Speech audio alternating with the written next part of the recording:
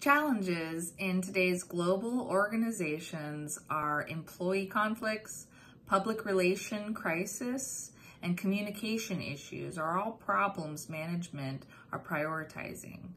Our last slide suggested guidelines for leaders handling potentially volatile situations within internal human relations.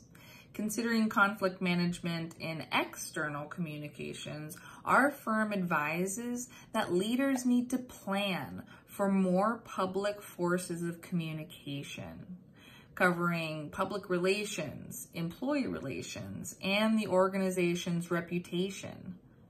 This form of crisis planning provides discussions on forecasted perspectives with internal employees and essential conversations or training in strategy management within the organization.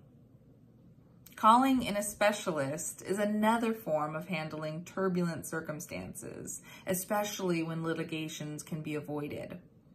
Mediators have been integrated into commercial contract dispute resolution to be the first step before arbitrations and litigations.